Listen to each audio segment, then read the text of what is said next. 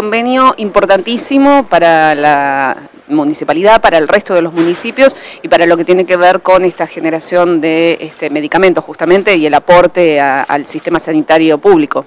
Sí, trabajo en conjunto de, del municipio de Burlingame con intendentes de la provincia de Buenos Aires, con Hugo Corbata, que es intendente de Pigüé, con Marcelo Santillán, que es intendente de González Chávez, con Néstor Álvarez, que es intendente de Guaminí, y con Ricardo Casi, que es intendente de Colón. Nosotros tenemos el laboratorio de genéricos que produce 27 medicamentos genéricos al 40% del costo de mercado.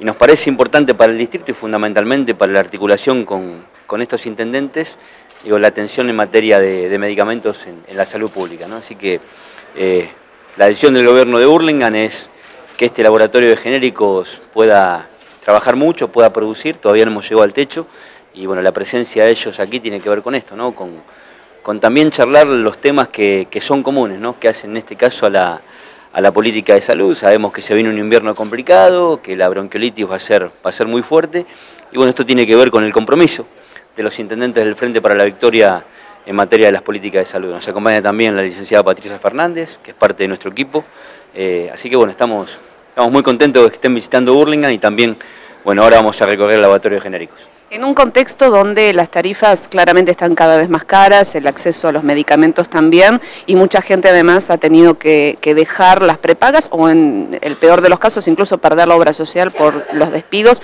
digo, esto también es un apoyo importantísimo.